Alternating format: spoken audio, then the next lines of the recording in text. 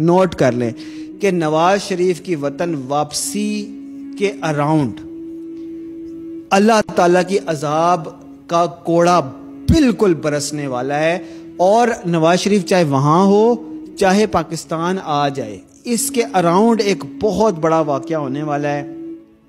और उस वाक़े के बाद पाकिस्तान के हालात किसी के कंट्रोल में नहीं रहेंगे। मुख्तसर सी बात है और वो बड़ा वाक़ क्या है? 2018 में मोहम्मद कासिम को अल्लाह ने दिखाया था कि नवाज़ शरीफ अल्लाह के हवाले हो जाता है, वो फौत हो जाता है और उसके बाद इल्ज़ाम जो है फोर्सेस के ऊपर आ जाता है और पाकिस्तान के हालात बहुत ज़्यादा ख़राब हो जाते हैं। मरीम नवाज़ जो है वो इल्ज़ाम फोर्सेस के ऊपर इस्टेब्लिशमेंट के ऊपर लगा देती है।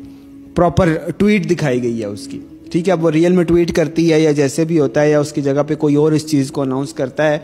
लेकिन नवाज़ शरीफ की का जो मामला है ना, दिन, तारीख तो कोई नहीं जानता, लेकिन उसके पाकिस्तान आने से हालात बहुत ज़्यादा ख़राब होने वाले हैं।